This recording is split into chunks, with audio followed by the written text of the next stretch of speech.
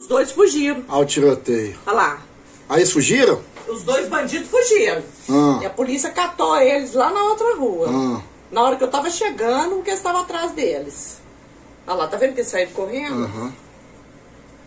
Depois eles conseguiram pegar ele, você vai ver que eles sentam ele aqui no muro, eles ficam sentados aí no passeio, até chegar o, o carro que vai buscar os dois.